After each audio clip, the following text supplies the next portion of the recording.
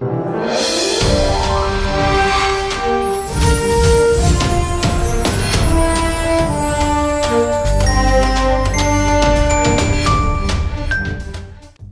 చరిత్ర ఉన్న భారతీయ చిత్రసీమలో డెబ్బై ఐదేళ్ళు నటించిన ఏకైక నటుడు అక్కినేని నాగేశ్వరరావు.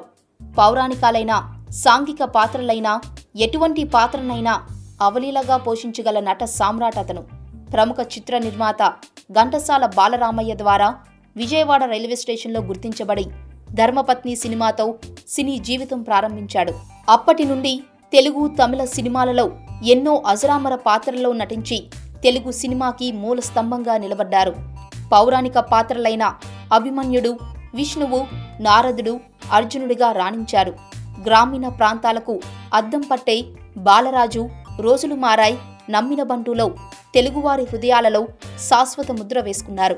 విఫల ప్రేమికుడిగా నటించాలంటే దేశంలో ఎవరైనా సరే ఏఎన్ఆర్ తర్వాతే అనే పేరు తెచ్చుకున్నారు.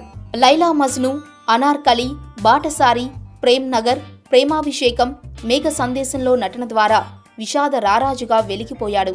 మహాకవి కాళిదాసు భక్త జయదేవ అమరశిల్పి జక్కన్న విప్ర నారాయణ భక్త తుకారం పాత్రల్లో నటించి ఆ పాత్రలకి జీవం పోశాడు.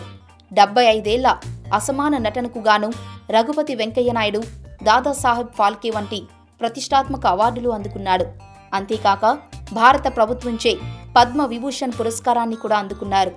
తెలుగు ప్రేక్షకుల హృదయాలలో శాశ్వత ముద్ర వేసుకున్న ఏఎన్ఆర్ జయంతి సందర్భంగా అంజలి ఘటిస్తుంది టీఎఫ్సీ మీడియా.